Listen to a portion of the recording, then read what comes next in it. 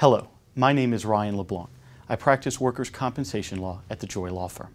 The Workers' Compensation Act is designed to protect injured workers where an employer-employee relationship exists.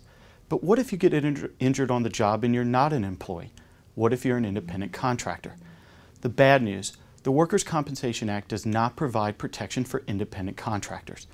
The good news, the South Carolina Supreme Court believed, in certain circumstances, that an independent contractor can be protected under the Act. If you're an independent contractor and your employer has exerted some type of control over you, then you may be entitled to workers' compensation benefits. Some things to look for when trying to determine if an independent contractor is eligible for work comp benefits are whether the employer is directly paying the independent contractor and whether the employer is providing equipment to the independent contractor.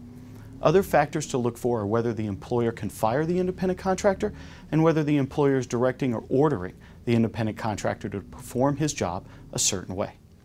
If you are an independent contractor, don't think for a second that the Workers' Compensation Act could not apply for you. If you're injured on the job, you owe it to yourself to speak to an attorney to determine if you can be protected under the Act. If you've been hurt on the job, just call Joye at 888 324 3100 or visit our website at joyelawfirm.com. Thank you.